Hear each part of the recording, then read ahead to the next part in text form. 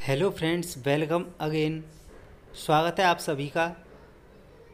अपना टॉपिक चल रहा था संवैधानिक विकास। इसी टॉपिक को आगे बढ़ाते हुए आज हम पढ़ने वाले हैं 1909 ईस्वी का भारत परिषद अधिनियम और 1919 का भारत परिषद अधिनियम। इससे पहले फ्रेंड्स, अगर अभी तक आपने पहले वाले वीडियो नहीं देखे तो उन वीडियो को ज़रूर देख लें, प्लेलिस्ट में जाकर। चलो वीडियो स्टार्ट करते हैं। 1909 ईस्वी का भारत परिषद अधिनियम, या इसी अधिनियम को कहा जाता है मार्ले मिंटो सुधार। देखिए, मार्ले मिंटो सुधार क्यों कहा जाता है? मार्ले थे, ये उस टाइम भारत के राज्य सचिव थे। और मिंटो थे, ये भारत के उस टाइम थे वायस राय। तो इस वजह से इस अधिनियम को मार्ले मिंटो अधिनियम या मार्ले मिंटो सुधार भी कहा जाता है। चलो वीडियो स्टार्ट करते हैं, इसमें क्या क्या पॉइंट्स थे? देखिए, पहला पॉइंट्स है, इस यह अधिनियम अरुंडेल समिति की सिफारिश पर भारत लाया गया था। तो किस समिति की सिफारिश पर लाया गया था?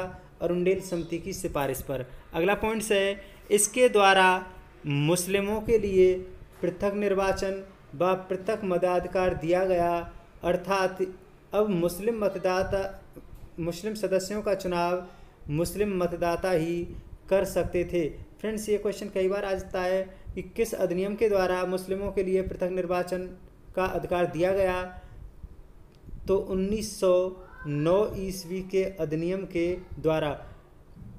अगला पॉइंट है, इस प्रकार इस अधिनियम ने सांप्रदायिकता को मान्यता प्रदान की, अतः लॉर्ड मिंटो को सांप्रदायिकता का जनक कहा जाता है। फ्रेंड्स, कई बार क्वेश्चन पूछ लिया जाता है कि भारत में सांप्रदायिकता का जनक किसे कहा जाता है? तो लॉर्ड मिंटो को। क्यों कहा जाता है? क्योंकि इसने मुस्लिम और हिंदू के नाम पर भारतीयों को बांटने का काम किया था और अब इस अधिनियम के बाद मुस्लिम सदस्यों का चुनाव सिर्फ़ मुस्लिम मतदाता ही कर सकते थे। इसने एक बात और कही थी, ये पॉइंट आप ध्यान रखना। मिंटो ने कहा था कि हम भारत में नाग के दांत उगा रहे हैं। अर्थात भारतीयों को सांप्रदायिकता के आधार पर या हिंदू मुस्लिम के आधार पर बांटने का काम कर रहे हैं। इसका मतलब ये है। फ्रेंड्स, ये कुछ इम्पोर्टेंट पॉइंट थे 1909 ईस्वी के अधिनियम के। इसके बाद अगला अधिनियम आता है 1919 का भारत परिषद अधिनियम। इस अधिनियम को कहा जाता है मॉन्टेग्यू चेम्सफोर्ड अधिनियम। कई बार तो यही क्वेश्चन आ जाता है कि 1919 ईस्वी के भारत परिषद अधिनियम को अन्य किस नाम से भी जाना जाता है? तो मॉन्टेग्यू चेम्सफोर्ड अधिनियम।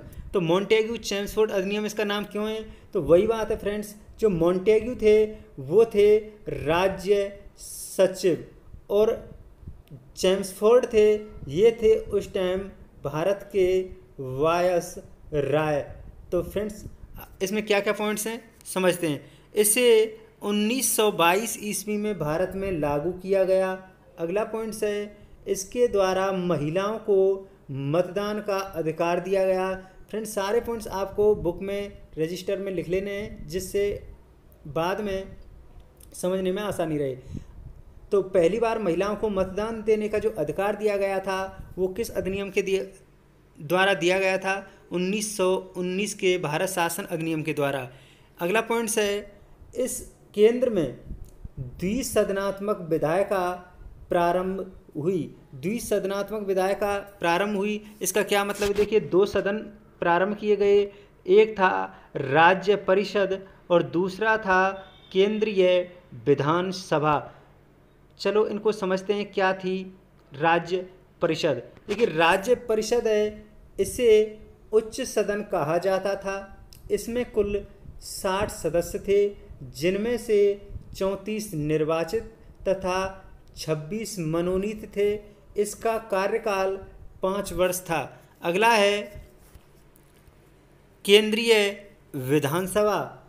इसमें क्या था? इसे निम्न सदन कहा जाता था। इसमें एक सदस्य थे, जिनमें से 104 सदस्य निर्वाचित तथा 40 मनोनीत थे और इनका जो कार्यकाल था वो तीन वर्ष था। अगला पॉइंट्स है प्रांतों में द्वैत शासन प्रणाली का प्रारंभ हुआ। फ्रेंड्स कई बार क्वेश्चन आता है, प्रांतों में द्वैत शासन प्रणाली कब प्रारंभ हुई या किस अधिनियम के द्वारा प्रारंभ की गई? तो 1919 के भारत परिषद अधिनियम के द्वारा। तो ये दो पॉइंट्स ध्यान रखने हैं। केंद्र में द्विसदनात्मक विधायिका प्रारंभ की गई।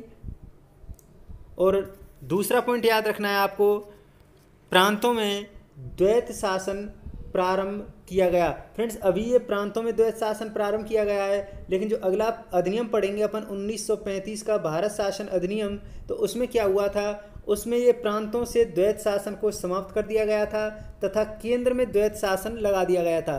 तो ये क्वेश्चन थोड़ा कन्फ्यूज़ रहता है किसमें हटाया किसमें लगाया? तो प्रांत यानी कि पहले तो पहले प्रांतों में लगाया है, और बाद में केंद्र केंद्र में। प्रांत पहले, प्रांतों में पहले, इस तरह से आप याद रख सकते हैं।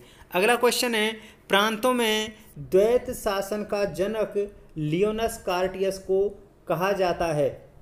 अगला पॉइंट है, इसने, यानी कि इस अधिनियम ने सांप्रदायिकता आधार पर सिखों, ईसाइयों, आंग्ल भारतीयों व यूरोपियों के लिए पृथक निर्वाचन प्रारंभ किया गया। अगला पॉइंट है, भारत सचिव को अधिकार दिया गया कि वह भारत में एक महालेखा परीक्षक की नियुक्ति कर सकता है। तो फ्रेंड्स ये क्वेश्चन एक बार एसएससी सीजीएल में आया हुआ क्वेश्चन है कि किस अधिनियम के द्वारा भारत में महालेखा परीक्षक की नियुक्ति का अधिकार दिया गया? तो फ्रेंड्स 1919 का भारत परिषद अधिनियम, जिसे वर्तमान में controller and auditor general of India CAG कहा जाता है, वो इसी अधिनियम के द्वारा नियुक्ति की गई थी। अगला पॉइंट्स है, इस अधिनियम में भारत के लिए एक लोक सेवा आयोग के गठन की सिफारिश की गई। अतः 1926 ईस्वी में ली आयोग, ली कमीशन की सिफारिश पर सिविल सेवकों की भर्ती के लिए केंद्रीय लोक सेवा आयोग का गठन किया गया फ्रेंड्स।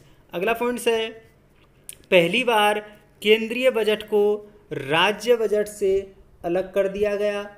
अगला पॉइंट है, इस अधिनियम के द्वारा वायसराय की कार्यकारी परिषद में छः सदस्यों में से तीन सदस्यों का भारतीय होना अनिवार्य किया गया। तो जो कार्यकारी परिषद सी ये गलत लिखा हुआ पे कार्यकारी परिषद में छः सदस्यों में से तीन सदस्यों का भारतीय होना अनिवार्य किया गया। तो फ्रेंड्स, ये सारे पॉइंट्स आप नोट कर लेना रजिस्टर में, क्योंकि कोचिंग में भी पढ़ाते हैं बिल्कुल, लेकिन मैंने जो क्वेश्चन आते रहते हैं, सिर्फ़ उन पॉइंटों को ही इंक्लूड किया है। तो आप को कैसा लगा वीडियो अच्छा लगा है तो प्लीज़ वीडियो को लाइक ज़रूर करें। थैंक यू धन्यवाद।